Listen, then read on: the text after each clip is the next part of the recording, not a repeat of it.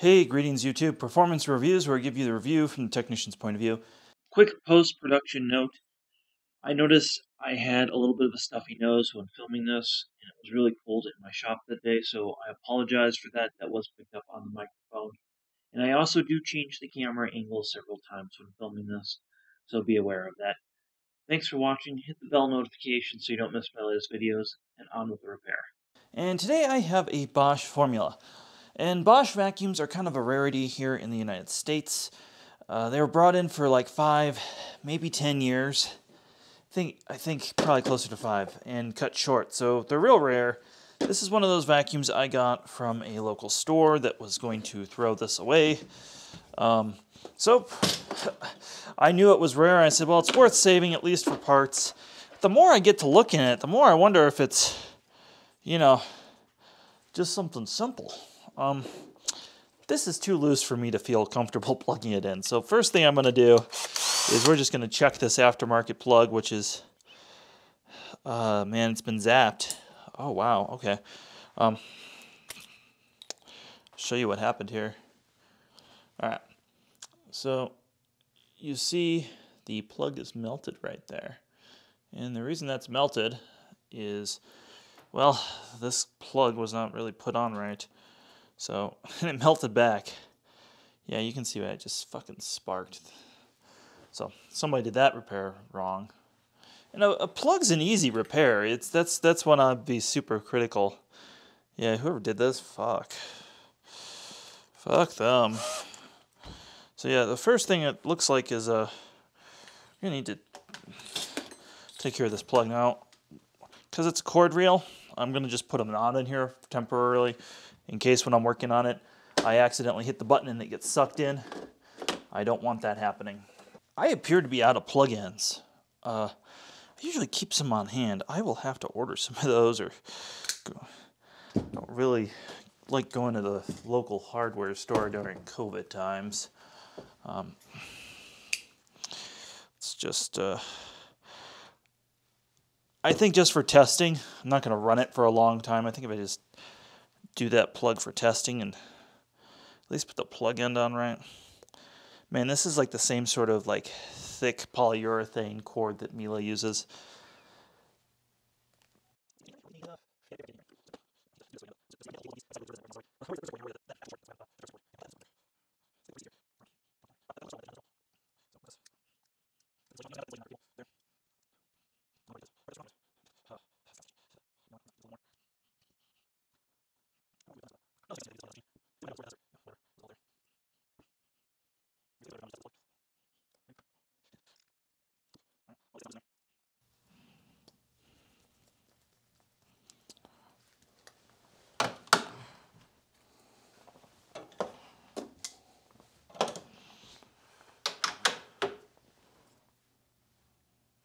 All right, here goes uh,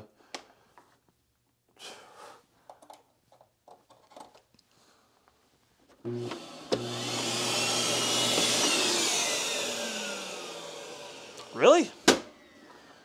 Really? All right.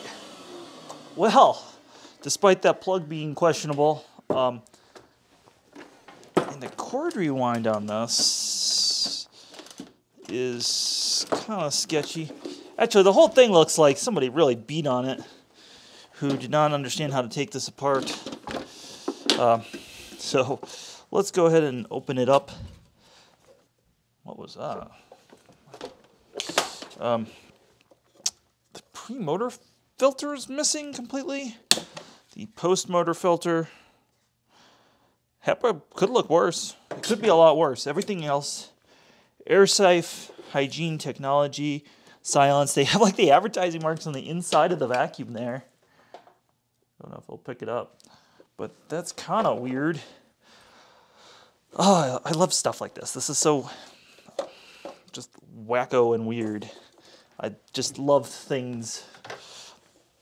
Anything of this turn of the century, you know, early 2000s, there was just such a time of weirdness going on with all sorts of industries. And I'm just going to take everything apart. You know what? Screw it. I'm going to take the uh, the cord off the lid. Oh, it's not a T20. Oh, it's not like a Miele uses T20. Huh. All right, those are T15s then. Assuming I have a T15. Let's see if that's... How about that? T15's like a Dyson.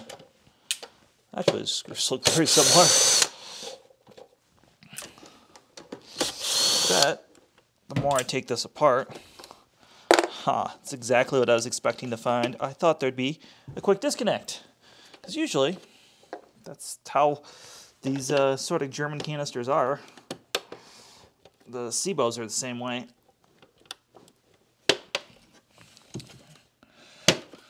Huh.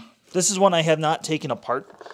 Uh, I've seen one of these or two of these come in for service over the years, and they've all had like hose issues or whatever. I've never actually had to take one of these apart. So I'm curious to see what's going to be inside here. And like I said, I'm kind of just kind of guessing. So, you know, you usually see these big tutorial videos for me where I'm like, oh yeah, I've done this a hundred times. I've not done this one a hundred times. So again, a little bit of guesswork.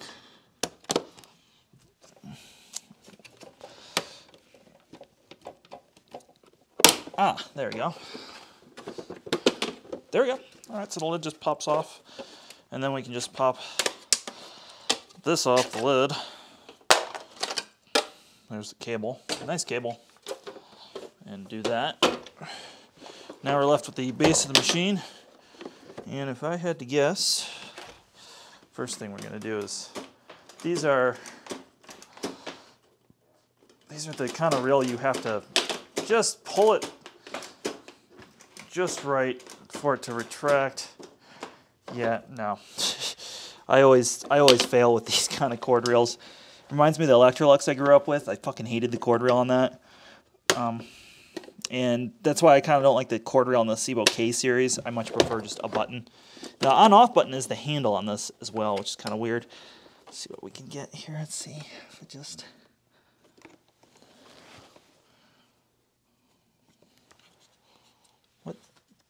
Huh?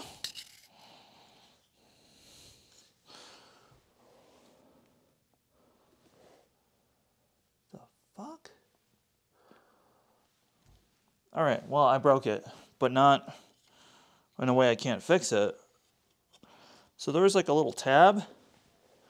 That little tab got had a screw in it. So like literally, like put the screw through this and mold it. I, I wonder how this was made. Anyways, that, that can be fixed. Oh, the fucking mechanism in here, though. Yeah, that's fucking weird. Uh, show you the mechanism in here. Alright, I don't know if you can see, but it's like a Archimedes screw that the adjuster's on. It is super weird and mechanical for no reason. So now, I would be willing to bet after all that. Yep, everything just pops off. Pull this. uh, that's kind of sexual. Um, uh, now the cord reel wants to go in. Again, this is all got to me secondhand, and it doesn't have a funk to it, but it's kind of dirty. I want to wash it, even if I wash it by hand. Yeah, yeah, you can see that Archim let's zoom in here. All right, you can see this crazy Archimedes screw thing on this potentiometer. No reason for that. It's ridiculous. It's unnecessary in like a hundred different ways. I thought Miele had done some weird potentiometers over the years, but that, that takes the cake. Uh, well, I got one screw here. And I would think there would be two more in the front if I had to guess, but I could be wrong. This is pretty sandwiched together. And it is sealed. It's sealed up like a... This actually reminds me of a Miele C1 almost, how it's put together on the inside. It's got that same cheapness to it.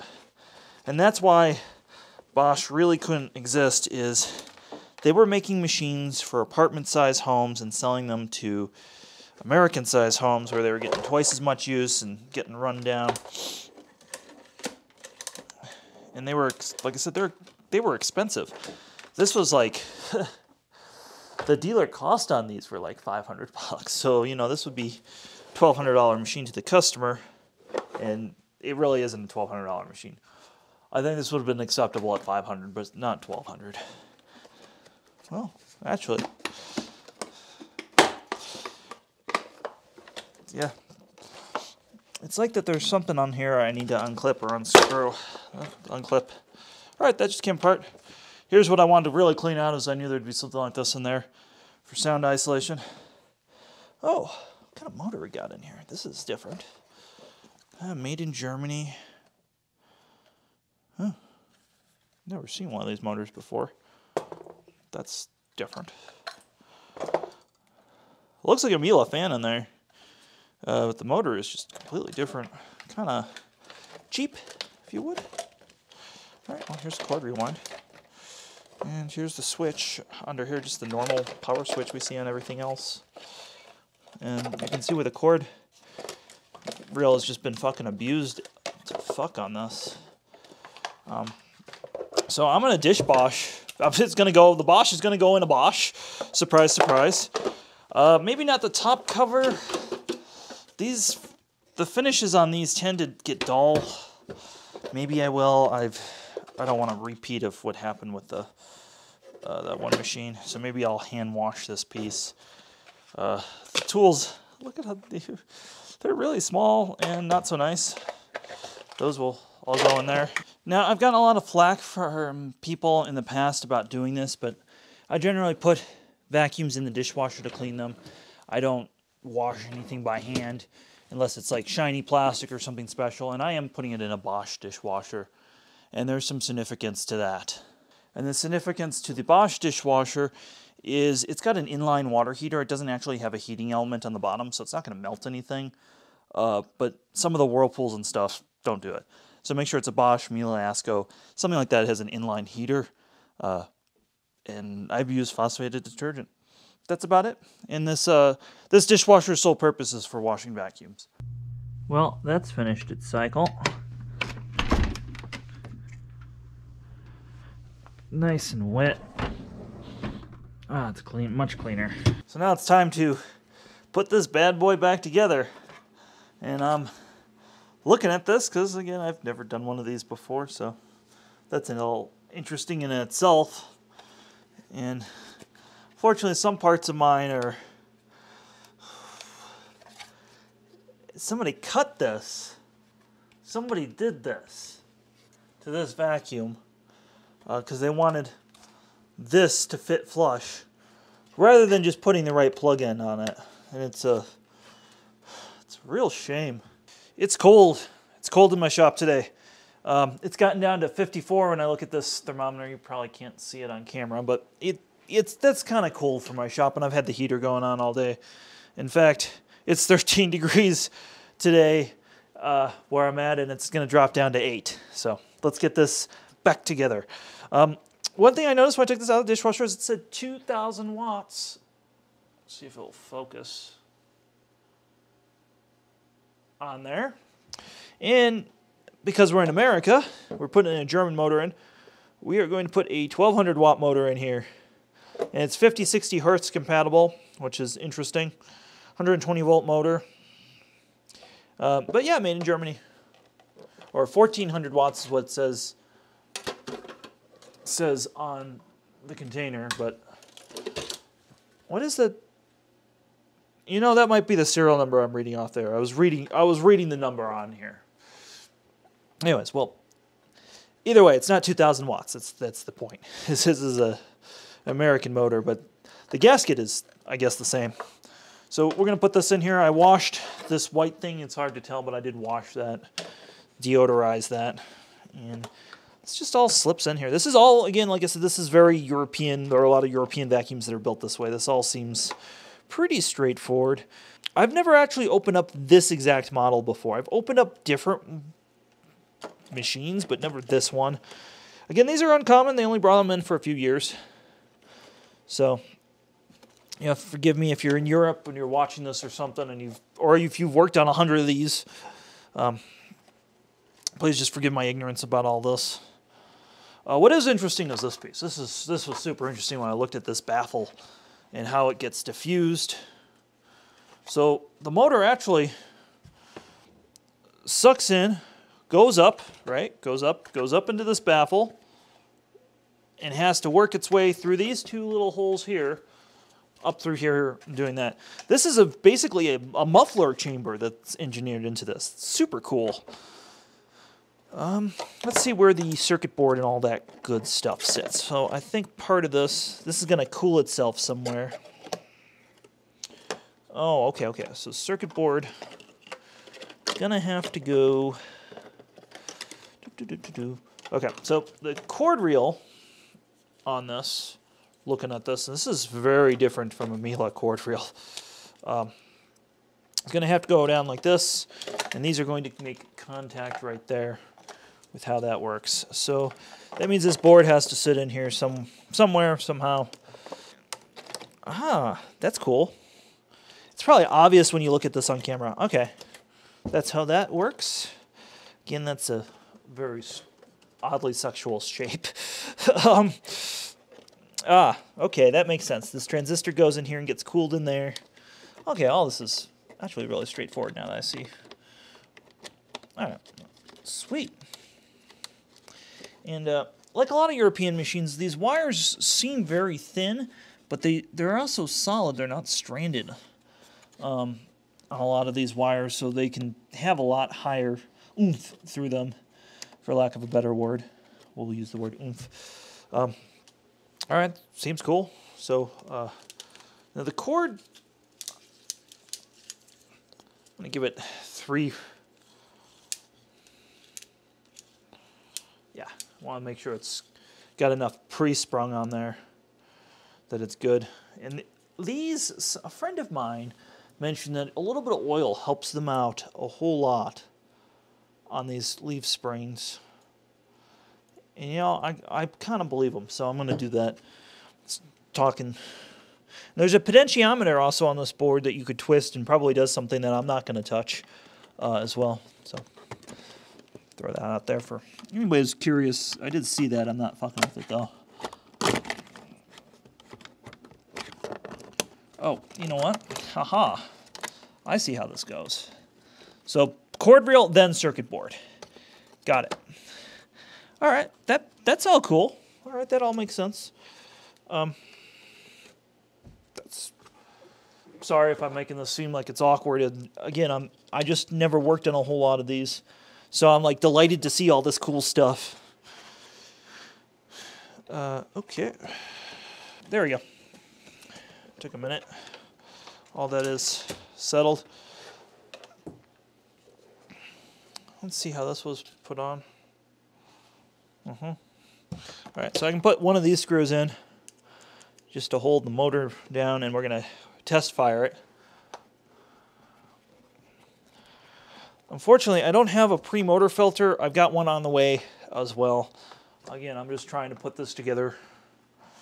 Maybe I'll turn the camera on when I get everything to show you. Oh, I heard a click in the board.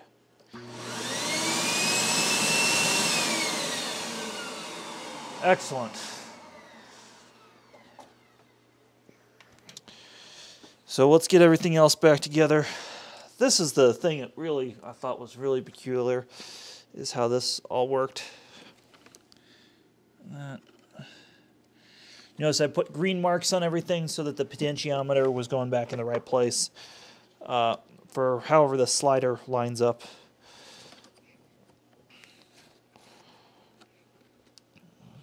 and that, like I said, this is this just interacts with this on here. That's so cool. Uh, I was gonna put oil on this, but this seems to be like Teflon or something. This is really slippery plastic. Not necessary. All right.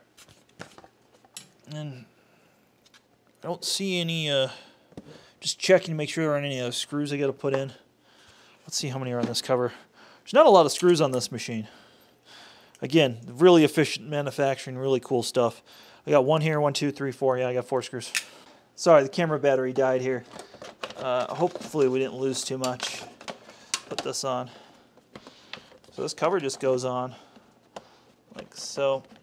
And I might have trouble putting this on because somebody cut this section on this particular example.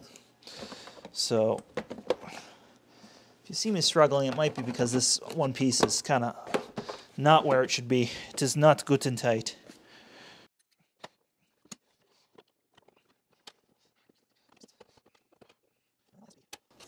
This is all lining up. Yeah.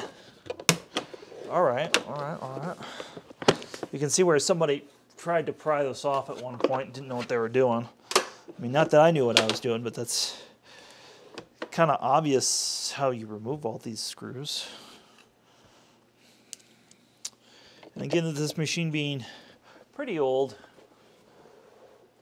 we're not going to use an electric driver to put this tight. All this plastic also is, um, it's not as high quality as the Miele plastic that's used. Miele did eventually switch this to their C1 line, but it's, uh, yeah, the, the lid is made of a much stronger plastic than this stuff. Uh, but it, again, it all seems to be a-okay. Except for that, that plug just drives me crazy that somebody would do that. Like whoever whoever did this, I don't ever want to find out who you are. That is just, it's a shame. Um, but why not? Vacuum saved. So this gap right here concerned me when I was first putting these screws in, and then I realized there's a nice big rope gasket that's going to go in there. It doesn't matter. All right. There's just one screw holding this on the back, so three screws holding most everything together. Uh, and this took a trip in the dishwasher as well. This just goes there. This is all just, like I said, wonderfully simple. Like, if they would make this with a an EBK 340 today, this vacuum would sell and be absolutely great. And I think that's the problem is they, they never put the right nozzle pairing for the US market. They never put one with a height adjustment. They only made one ever with a full-size nozzle. Most of these were sold as straight suction or with uh, one of the compact nozzles, which, again, not right for most carpet. And Miele made that same mistake when they first introduced them. So uh, well, I mean, I guess they always had a bigger nozzle, but they majority sold these smaller nozzles. And if you have low pile carpet, I actually like the smaller nozzle. I got no problems with them, but they're not right for half of people's carpet. All right, so that goes on like that. All right. Now we can wire every. Yeah, okay. So in order to take the cover off, you got to have this Okay, this all like if you're putting this together in a factory, a lot of these things make sense. Um,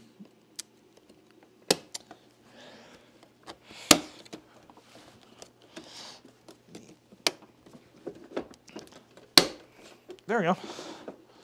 There's the slider. Yep, I can see it moving in there. That's cool. You can see the slider in there. All right. Now we gotta let's rotate it, and we'll get we'll take care of all this. Again, I have new filters on the way for this machine. Um, so please uh, hold your comments on that. That I didn't forget the filter. I'm just trying to move this out of the way because I have other things I need to work on. Um, but rope gasket just goes back. And I put the rope gasket in the dishwasher, which cleaned it right up. And we're just going to use a little bit of pledge on it as well. I've got a brand new Bosch bag. Now, funny story is this is not a genuine Bosch bag, but it is a genuine Bosch bag.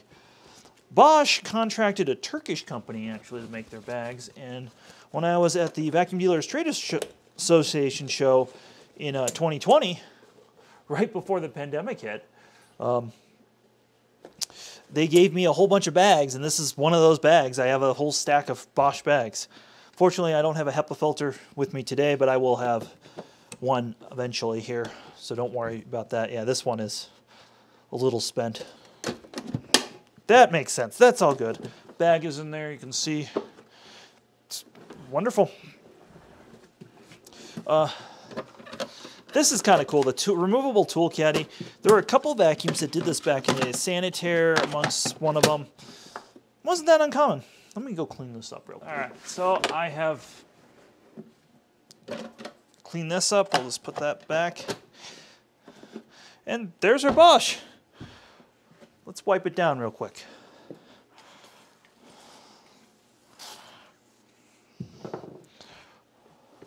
Well, I think it looks better than how I found it. It's definitely a lot cleaner inside. Comment below if you've had one of these or had the opportunity to use one of these. Um, really is a interesting vacuum. Um, I've got the actual flyer as well as I've shown probably hopefully by now uh, from when these were sold and how much these cost and stuff. Man, I might need to polish this, actually get the heavy duty uh, polish out and polish that, but I think it looks all right now. We'll see. Hit that bell notification so you don't miss our latest videos. Thanks for watching, everybody. Check out the links below. Consider joining the conversations on one of our other platforms or publishers, and have yourself a wonderful day.